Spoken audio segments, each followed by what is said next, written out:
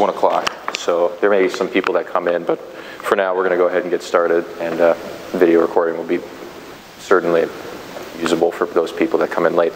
So thanks to everybody for coming here uh, today and uh, uh, going over just some details. We did this last year with some other ministries, but we're going to do this with, and we're just doing it with lectors this year, just so that we're all on the same page. And there's a couple of changes from what we were doing that uh, that we're going to talk about today, but most of it's the same. Most of it's what you're familiar with. So many of you are probably going to just be like, oh yeah, I know how to do this. Oh yeah, I've heard this before.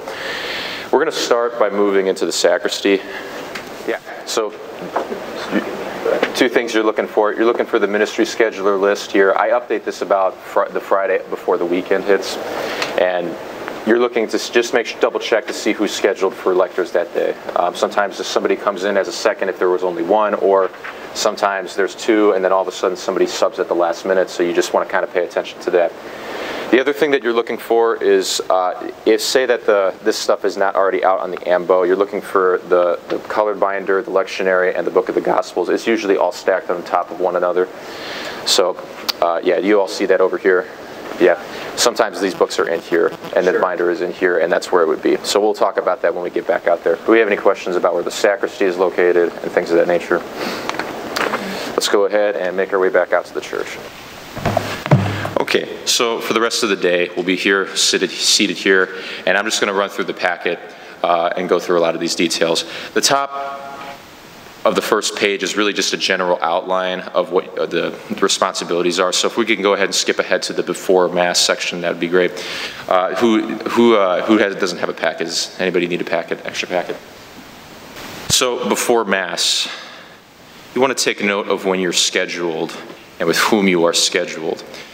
That's why that minister scheduler list is important in there, but also we use Ministry Scheduler Pro, right, uh, that, that uh, electronic app that allows us to see the dates, uh, the lectors who are assigned for that day, and so you want to double check probably about a day before the Mass is on who you're scheduled with, what lector you are, and so on and so forth. You want to then look up the readings for the Mass that you are assigned to. So say that you're on Saturday, you're going to be looking for the readings for the second Sunday of Lent, for example, for, for this weekend. Say that you were scheduled for the 5 o'clock today, or tomorrow for any one of those Sunday Masses. I like to use the website USCCB, the U.S. Conference of Catholic Bishops. That's they, they get that stuff right every time. Um, one thing you got to double check if you're a Saturday Mass goer, you want to make sure that you're on. You really double check for the second Sunday of Lent, and you got to get to the Sunday dates. Sometimes they have the Saturday readings for daily masses, so just be aware of that. Then, when you look up your readings for the assigned day, if you're if there are two lectors scheduled, lector one is responsible for the first reading, and say that you're at a Mass, like the 8 o'clock Mass that doesn't have any music, you would also read the responsorial psalm. Lector 2 would be the second reading. If you're the only lector assigned, you would do the first and the second reading, as well as the responsorial psalm if it's the 8 o'clock Mass or another Mass without music. Once you figure out where those readings are, you want to practice reading the scripture passages before coming to Mass. You want to familiarize yourself with the text. You want to double check to see if there's anything that's a little bit interesting that you might want to ask a question about to the priest. Uh, you want to understand what the main content is, what's the point of the reading. You want to try to figure out what genre it is in. You want to then, that's that information helps you better proclaim the readings, right? So you want to kind of have a good understanding of what the reading is about so that when you're then reading it to people, you, you feel, you, look, you know what you're talking about. Any questions about that stuff you're doing before the day of the Mass?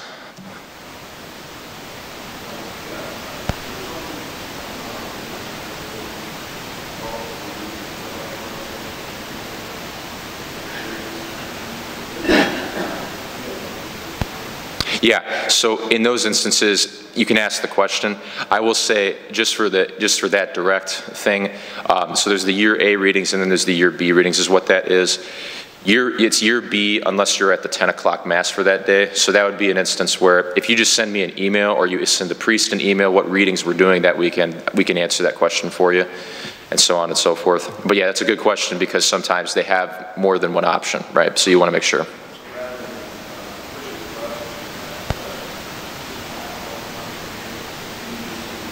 Yeah, I'll try to be on top of that and be a, be a good steward about reminding everybody, hey, so there's multiple reading choices for this weekend. Here's, and so on and so forth. And I, will try to do that a few days before the, the weekend hits.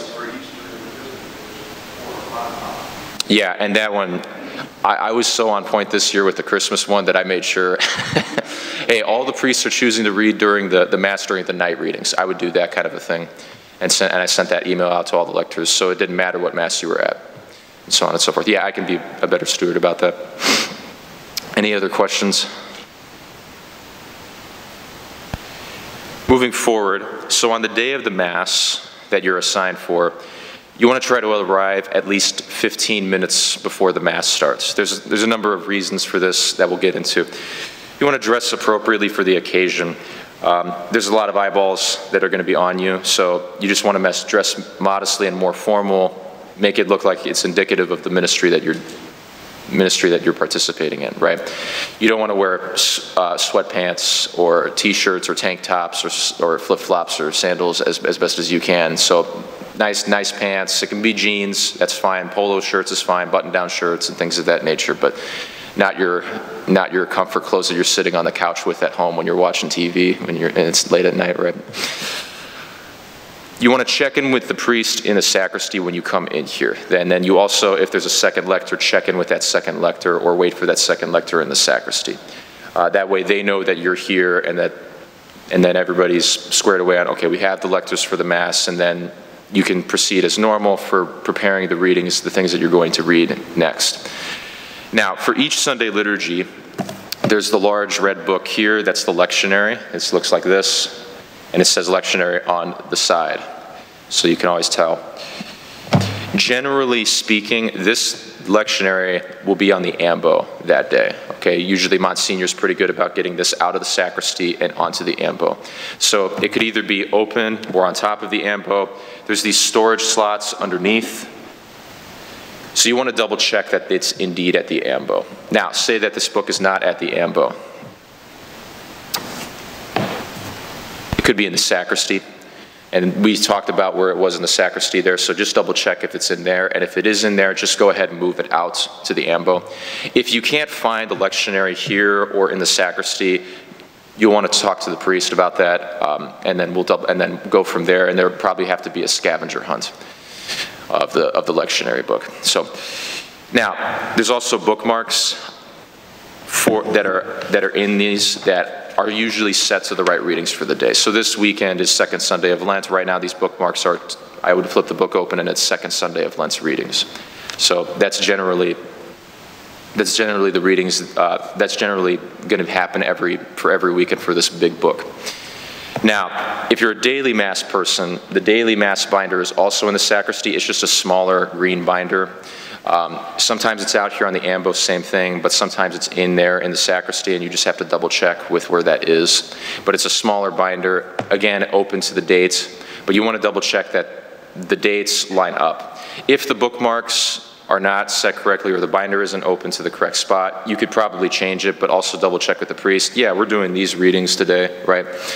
If the readings are different from uh, what you prepared, right, that's it's a great time to communicate with the priest if you're just unsure about the bookmarks being set correctly or you're on the right reading or what's the readings for today, um, if, if it's anything else than you were prepared for to read. Flipping on to the next page. There should also be this colored binder out in the ambo as well. It's the color of the liturgical season. So for Lent, it's purple right now. Sometimes it's green, sometimes it's red, sometimes it's white and so on and so forth. But there should be some colored binder out on the AMBO. You want to double check that it's indeed there. And if it's not at the AMBO, you follow the same protocol with the lectionary. You, you check back in the sacristy to see if it's in there. If you can't find it in, in either spot, then just check with the priest. And again, you're going on the scavenger hunt. The colored binder contains the lector greeting that we do to start the Mass. There's petitions in the colored binder, and then if there's any announcements, there's a third sheet in the colored binder. And it has all those things in there. So you just want to double check that those things are indeed in there. One of the other things that you're also looking for at this time, you want to double check the pronunciation of the names of the deceased at the end of the petitions. Um, Generally, those are mass intentions that people pay money to, our church for, and so it, it's just nice if you take a little extra time to figure out what the name is. If it's a name that's really difficult to get off the first glance, then I'll try to put a pronunciation guide in there. But when in doubt, double check with the priest if you're unsure about the pronunciation, and then if, if we still pronounce it wrong, it's the priest's fault, or it's, the, or it's my fault. It's not your fault, right? You also um, want to double check to see if there are any announcements to read. You want to just kind of get that in your brain. If there isn't a sheet, assume there are no announcements, which everybody will rejoice at that, usually, right? But just double check to make sure there are no announcements to read or that there are announcements which will come in later as we go through the rest of the duties for the lectors. Once you've double checked all of those things, it wouldn't be a bad idea to read through everything once more, one more time, even if you prepared the readings for that day. So you could read through the readings, and then of course the things that you're responsible for, in the colored binder. Okay. So if you're lector one, and there's two lectors, lector one takes care of the lector greeting. They take care of the first reading, and at masses with no music, they would take care of the first uh, the responsorial psalm as well. Lector two takes care of the second reading and the petitions. And then if there's any announcements, they would, they would read those as well. If there's just one lector for that mass, you do all of those things. You read both the readings. If there's, uh, if there's announcements, you read those. You read the petitions, lector greeting, and then if you need to as well for the responsorial psalm. If there's a question about pronunciation, or say that I make a typo in here and it's pretty obvious and plain, um, or say that there's something written in the lectionary that you want to try to erase. We don't like to write, write in the lectionary uh, pretty much at all, so it'd be highly encouraged to not write anything in the lectionary, but say that there's something in there that's a little confusing uh, reading-wise, or especially this one, if I make an error on this that with like a date or something like that, double check with the priest and say, hey, I saw this, can I make an edit with like a pencil or a pen and get in there, get the announcements? And just change the date on this or change the words or fix the spelling of that. And the priest will, priest will say, yeah, and then you can make whatever edits you need to to make things more correct. Okay, this, this most hap often happens with announcements and petitions. I make so, so many mistakes. Um, all right, once you have finished preparation, you'll then go back into the sacristy and this uh, ministers, Eucharistic ministers, lectors, and uh, altar servers will pray with the priest before Mass. So you'll go back in the sacristy and, and do that. Then it depends on the, the, the situation. If there's two lectors, the first lector can go sit in these reserved pews right here up at the front, far left, far, far side over here. Um, and you have family members and friends that want to sit with you, they're most welcome to sit with you over here in the reserve pew. That's what they're for. The second lector, and we're going to bring this back, will pick up the book of the Gospels. That's either out in the ambo or somewhere out in the church area or in the sacristy, probably on the am- probably in the storage slot in the ambo down here. But you'll want to get grab the book of the Gospels, and then you're going to walk back with the priest and the altar service to the vestibule. Okay. That's, if now if there's only one lector that's assigned, don't worry about the book of the Gospels. We won't do anything with the book of the Gospels. This is only on, on weekend, well, it's only at Masses where you have two lectors that you'll carry the book of the Gospels in. The reserved pews are for your friends and family. We already talked about that. So that's all the stuff about before Mass. Do we have any questions about, about that big chunk of information there?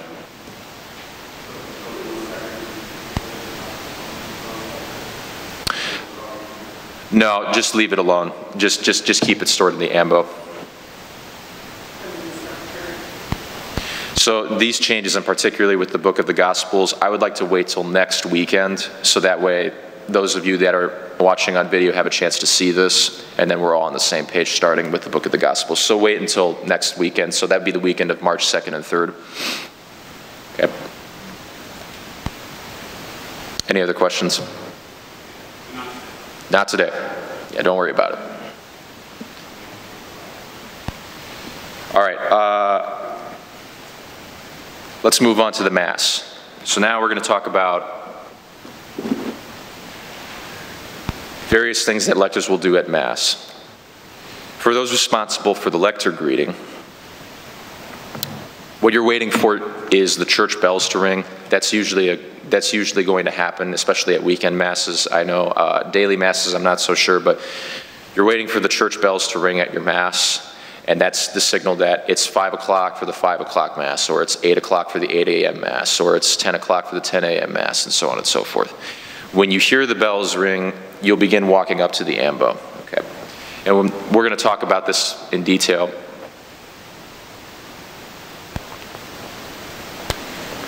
When you're walking up to the ambo and you step out to the pew, before Mass, you can genuflect to the tabernacle or you can bow to the tabernacle, whatever you can do, and then you walk up to the ambo.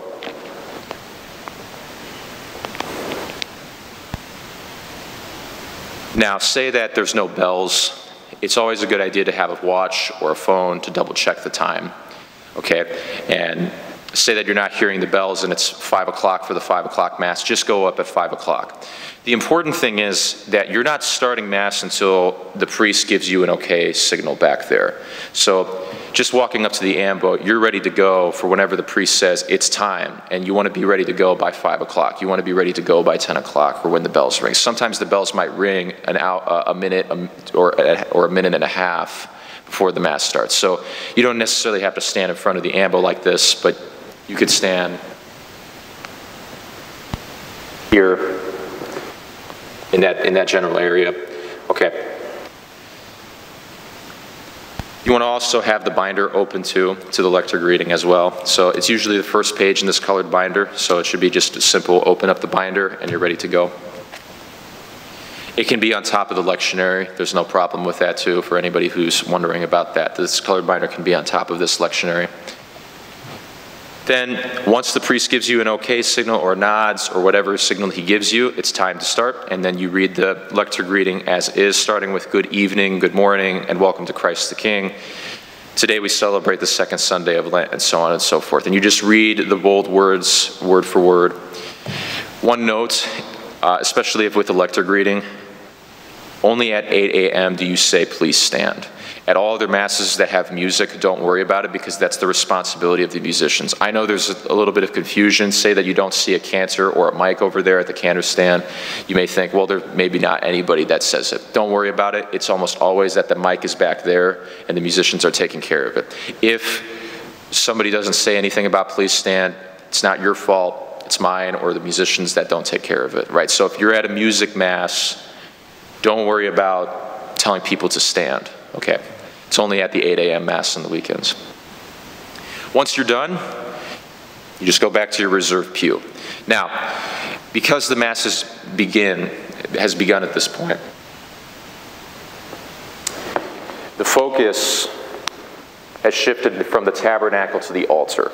So, for the rest of this Mass, you're reverencing the altar, no longer the tabernacle. This is important because when you're walking to and from the ambo to your seat, you don't need to bow. Okay, so don't worry about bowing when you come back to your seat.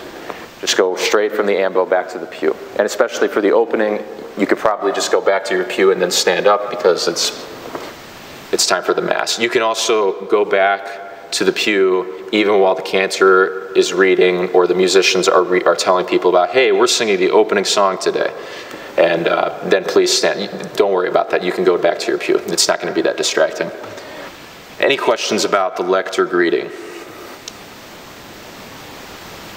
Very good. Now, say that you're lector two and you're responsible for carrying the book of the Gospels. So you have it back there in the vestibule. The order of procession is altar servers, however many there are. Then it's you with the book of the Gospels. The priests are following behind you. When you're carrying the book, and you have altar servers in front of you, you want to give about five feet of space between the, la the last altar servers that are going in front of you. Okay? And so about five feet. Pro if, you're, if you're walking down the center aisle, it's probably about one, two, or three pews. So just kind of estimating. So about this distance. When you're carrying it, you'll hold it like this. You don't want to hold it like this that's too strenuous, right, and it's, it's a little tacky. Certainly don't want to carry it like this, like it's an umbrella. You don't want to carry it like this because you can't see in front of you, right? So you, they're, they're, this is good. bend at the elbows and then lift from your shoulders. You have, you have a sideline, it's good. You want to carry it like this so that people can see it well, and that's, that's they'll best see the book of the Gospels like this. And then you walk and match the pace of the altar servers in front of you. They're probably walking a little bit slower than you usually do, so just be prepared for that. And you're matching their pace. You're trying to keep the same five feet of distance that you started with the whole way down the center aisle. When you get to the steps, you do not bow. You'll see the servers in front of you probably bow. You do not bow. You keep going up. You walk behind the altar. And then you place it, place it down. Then you go ahead and take a bow to the center of the altar, and then you'll return to your reserved pew. Okay? Any questions about carrying the book of the Gospels right there? One thing to note it's not too heavy, um, and this is only going to last, you carrying the book of the Gospels is only going to last about a minute or a minute and a half of time. But if you still don't feel comfortable carrying the book of the Gospels and you would like the other lector to do it, go ahead and talk to them about that before the Mass. And if neither of you feel comfortable about it, don't worry about the book of the Gospels then. Just tell the priest, hey, uh, neither of us feel comfortable carrying this up the altar that day. That's fine. So, all right, if there's no questions, let's move forward to the first reading. Your cue, at this point, Mass is going, and there's a lot of things that happen where you're just a normal parishioner. So, your cue, when it's time to become a lector again, is when the priest says a prayer after either what's the penitential rite, so that's Lord have mercy, or I confess, and things of that nature, or there's a singing of a Gloria, okay? He'll go, let us pray, and then he'll say a bunch of words. Usually the missal's in front of his face with an altar server opening up the missal, and he prays with his hands, through Christ our Lord, everybody responds, amen, and then sits down. Okay, so that's, you're paying attention for that part of the Mass. When everybody sits down, you don't you go up and you go up straight to the ambo. We talked about this before. When you're coming out of the pew, no need to bow to the altar. The rule is you bow to the altar when you're passing across the center. Okay, so if the lectors were seated over here, and you were getting up from here, and these were the reserve pews, and you would go up to the ambo, yes, you would bow. But because you're not passing across the center and you're over here in this corner, you just get out of your pew and you walk straight up. Most definitely, probably this binder will be open on top of the lectionary, so you'll close it and you'll store it You'll double check that the book, the lectionary, is open to the first reading.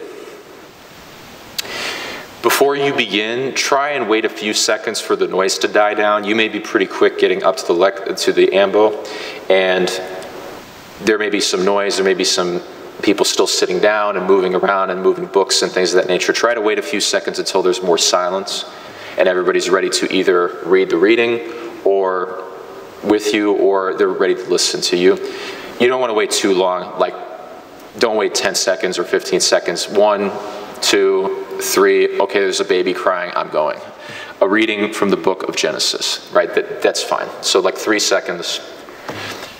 Then, when it's time to read, you read the reading and you read it word for word. It's, it's all of the weird words in bold, in black bold, in this lectionary in particular.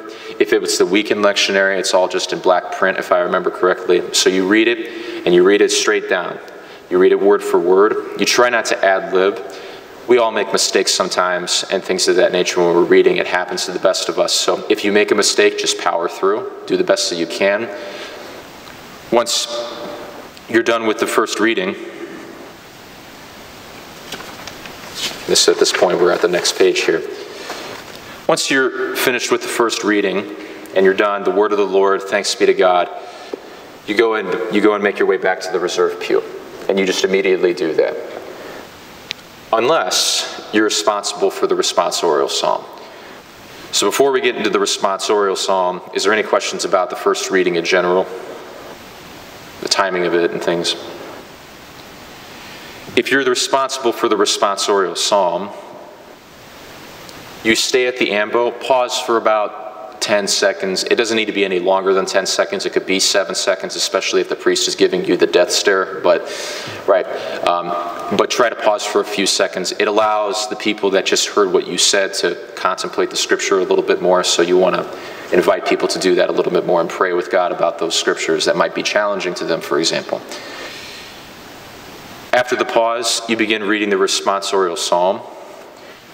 You're reading the response once by yourself, and so in this case, it's, I will walk before the Lord in the land of the living.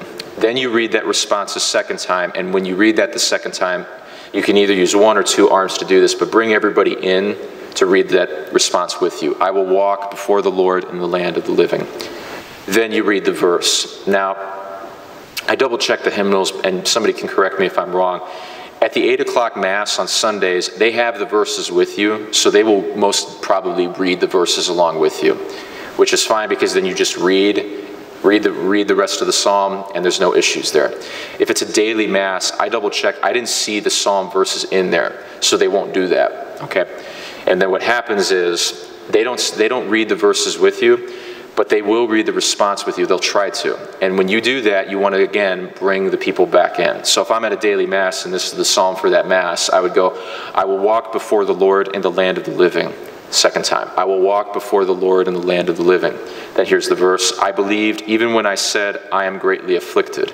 Precious in the eyes of the Lord is the death of his faithful ones. I will walk before the Lord in the land of the living. At a daily mass, okay? That, that would be more appropriate. You don't want to ad lib here either. Like, you don't want to say, This is the response, I will walk before the Lord, okay? Just read it as is. People will figure that out. When you're bringing people in, you don't need to say, it now everybody, this is enough, right? You're just let the words be the scripture, use the hand gesture, okay? It's a similar thing. I, if you've ever seen a cantor, they don't start, the, they, don't, they don't say, everybody sing before it's about time to sing, right? They just lift up their arms. It's the same kind of deal there, okay? This gesture will be fine. Once you're done with the psalm, you go back to your pew unless you're responsible for the second reading, in which you do the same pauses before, and then we'll go over the second reading in a minute, but you're basically staying at the ambo if you're doing everything, right? So you'll stay up here. Are there any questions about the responsorial psalm? Good. Oops. All right, so now say that you're responsible for the second reading, and say that there's a second lector and you're not up here yet already. Your cue is after the responsorial psalm.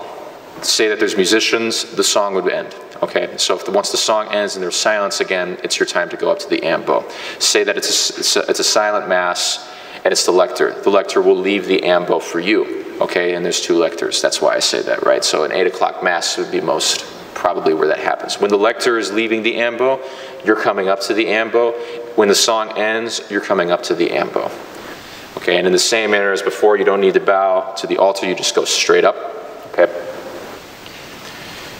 You'll pull, you'll turn the page most probably to the, where the second reading is if it's not already there. And then, same thing as before, a reading from the letter of St. Paul to the Romans. You just start and you read it word for word. Once you finish the second reading, it depends on the situation. Say that there's the book of the Gospels on the altar. You want to close the lectionary and you want to put it in the storage slot beneath you. You're making space for when the priest brings over that book of the Gospels onto the ambo, and that should be the only thing on there for the Gospel reading. If there's no book of the Gospels, you don't have to move the lectionary at all. You leave it alone, okay? Especially because the gospel is in here as well, so the priest needs to be able to read from something, okay? Or say that there's the, the week, the weekday lectionary, right? But it's the same, it's the same protocol for that. Then once you've moved the book or haven't moved the book, it's time to go back to the ambo and you go back into your seat. Any questions about the second reading and what's happening there?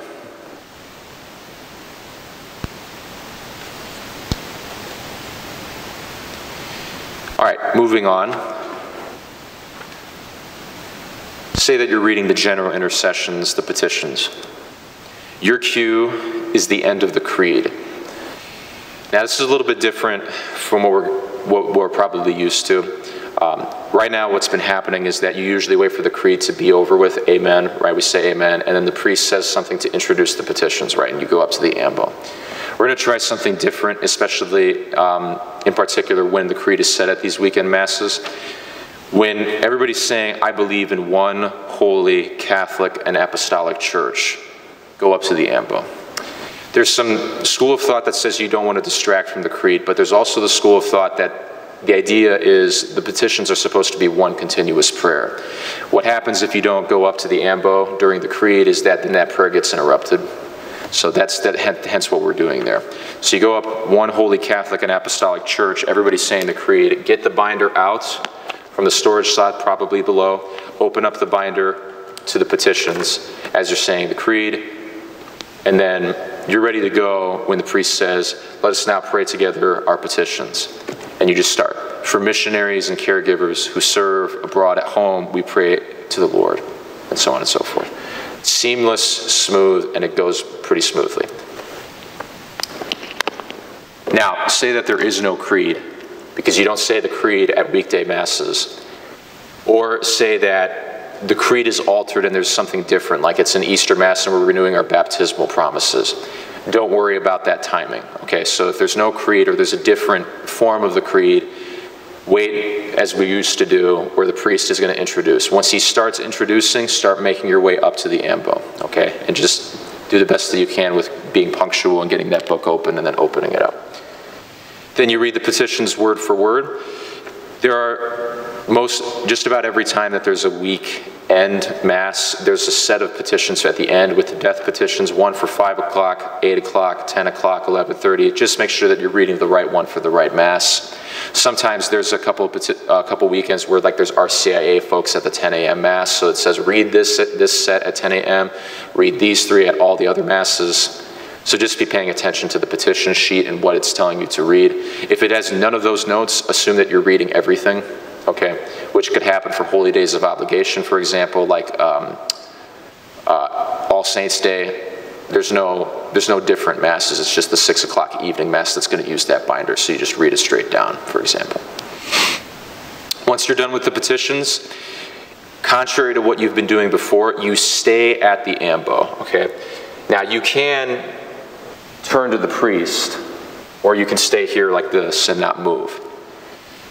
But the priest has a prayer to finish the lifting up of the petition. So let him finish the prayer, say amen, then make your way out of, off the ambo. Don't, don't, don't interrupt the priest and distract from what he's doing there. Any questions about the petitions?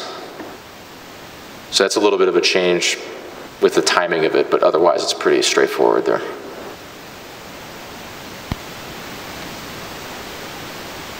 Good. Moving forward say that you're responsible for the announcements. Your cue is during meditation. So after communion happens and the altar is being cleared, what happens for meditation in particular is the priest is going to sit down in the presider's chair.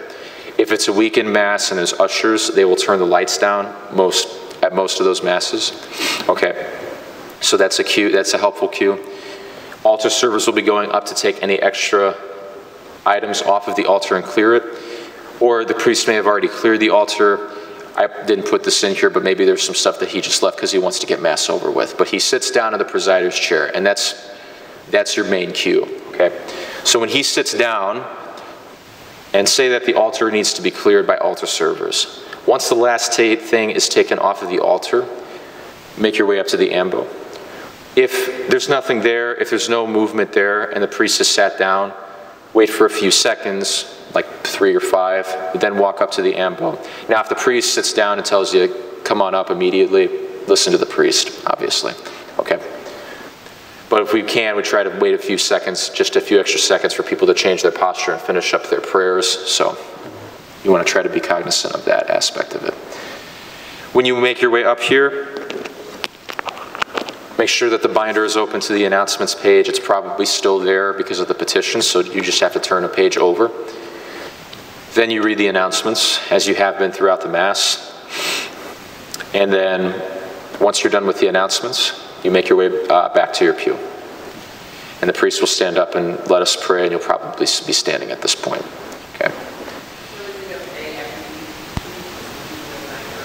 Mm-hmm. I didn't do, I didn't do that because uh, I, I, was, uh, but yeah, you can leave the binder up here because nobody's nobody's going to need to use anything over here, so this will be fine. Now, say that there's no announcements, and this is why it's important to ch double check to see if there are before the Mass starts. You don't have to do anything here. You can just sit down and meditate and still be the normal parishioner, right? So make sure that you, there's no announcements, or make sure that there are announcements to read so that you're not going up and like, oh, there's no announcements today, and so on and so forth, unless you really want to prank the priest. So, yeah, they, they love that kind of, they love that kind of humor. Are there any questions about any of the things that we that you're doing for Mass? Yeah.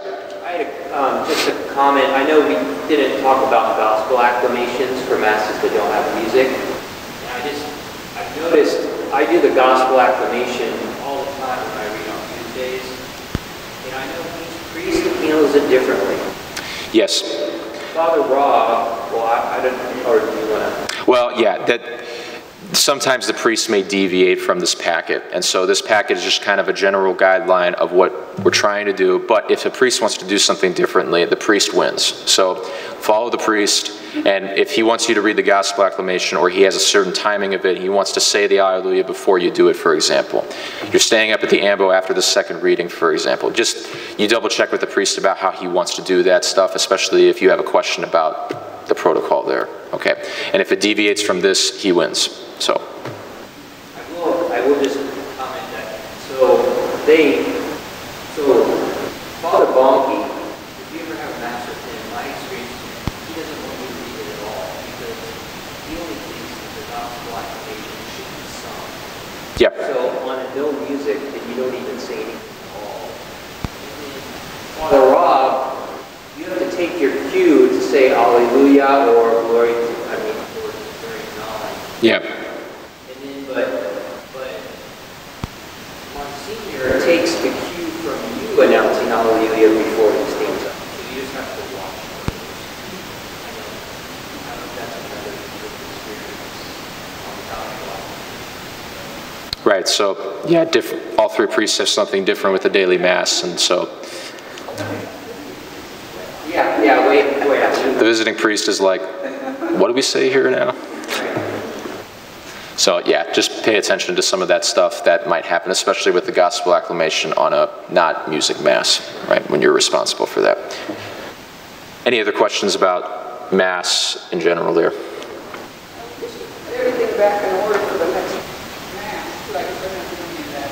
You don't have to. If you want to be nice, um, you can, and that's perfectly fine.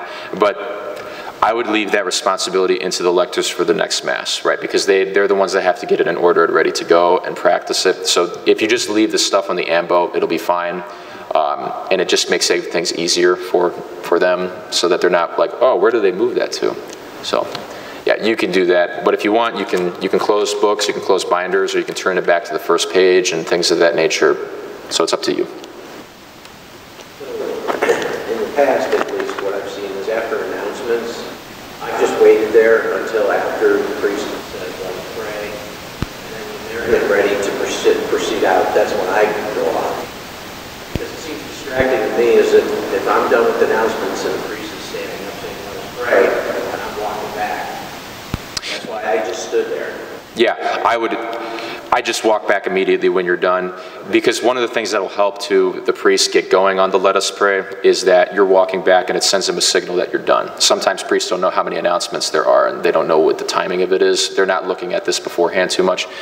Um, and so you, that would be your signal. And what he's saying is let us pray, but everybody's got to stand up. So by that point, without bowing, you're probably going to make it back to your pew in time. So the, the, the, timing should the timing should work well with that.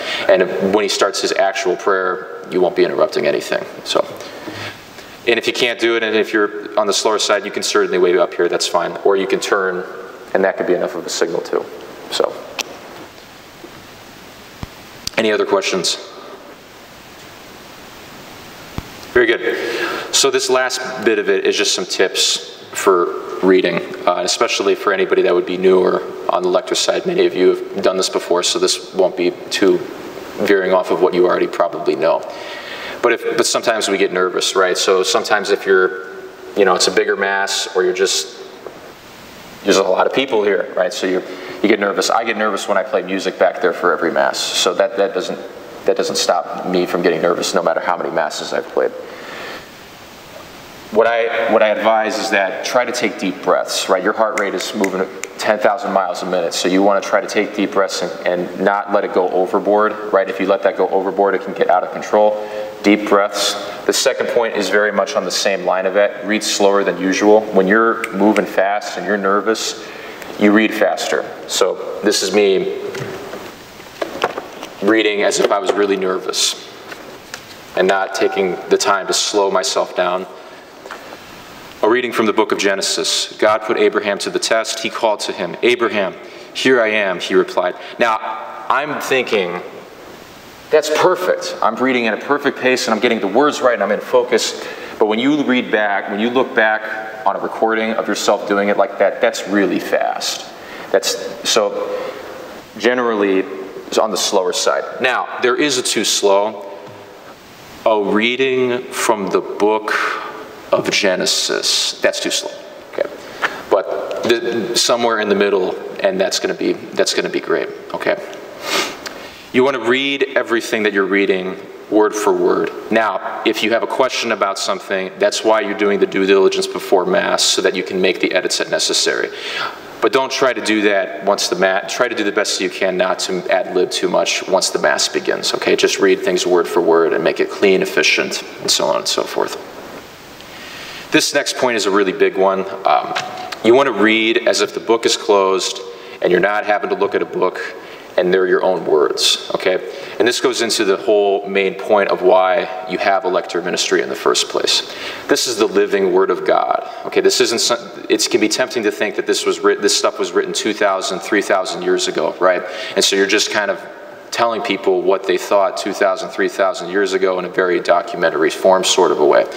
But this Word of God pertains to us today. This is something that still means something to us.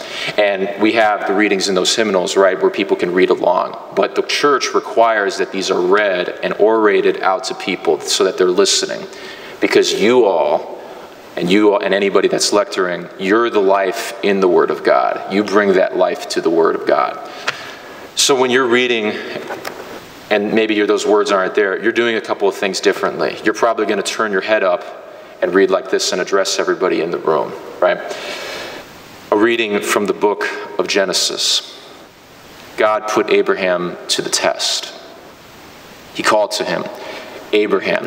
At the ends of phrases, I'm looking up at you. I'm making eye contact with the crowd. And if, I, if there were people sitting over there in the back corner, I would turn my head up and kind of do a pan back and forth. I'm also not changing too much about how I read because it's just it's just words and it's ideas being communicated. Imagine if they were your own ideas and you're talking to 400 people about what you want to tell them, you know, as if it's your own story to tell. If it's your own, if it's the second reading from Paul, and this is why genre is important, it's something of education, right? So you're teaching somebody about something, or you're, you're writing a letter for, of fraternity, maybe because he greets people that way. A reading from the letter of St. Paul to the Romans. Brothers and sisters, if God is for us, who can be against us? I'm not doing this. A reading from the letter of St. Paul to the Romans. Brothers and sisters, if God is for us, who can be against us? That's not authentic to who I am. I'm faking that, okay? You want to try to, it's like you're talking to somebody one on one, but you're talking to somebody, you're talking to a lot of people right? Be who you are. You know, be be that person that we can listen to. Like, well, we're having a conversation with you, except I'm being quiet and I'm listening to what you have to say, kind of a deal. So that's what that point is about, and it's a really important one. There is a too much. Okay, there's some things that you can do, and this is where we get into the point of it can be too distracting when you try to be authentic and be too lively, right? So some things to think about on the back page. You don't want to do any distracting movements with your arms or hands. I'm a guy that loves to talk like this. I love to make gestures. I love to be Italian. I love to do all that stuff, pointing and making gestures to help communicate. But when I'm up here reading, I try to grab the ambo because that helps me not move my arms.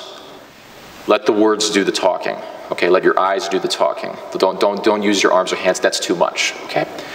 If possible, try not to lift the book up from the ambo for your eyesight, okay? Do the best you can with that. There's some people that have to do this, and I've seen a priest do this, okay? So it happens, okay? Sometimes your eyes are just bad. But try not to do too much. Don't do this, okay? Right, just as much as need, as much as need be, but try to keep it on the ambo if you can and read from there. Okay. I would rather, however, have to tell you that you're doing too much and have to tell you to scale it back than try to make it more lively for you. So do the best you can to be who you are when you're reading these things. So that way people are more interested in what you have to hear instead of being boring and well, I don't, I'm going to tune out here and just kind of sit back because that's also distracting, right? That's not actively participating either. So we want to, we want to, we want to invite people to engage in the readings of the, that day. Another thing, this is with mic placement. Notice how the mic is placed right here, and then of course I have this other mic here. It's a happy balance. If you stand too close like this, those kind of consonants explode and don't sound very good too far away, and you're not getting picked up. This is an area mic.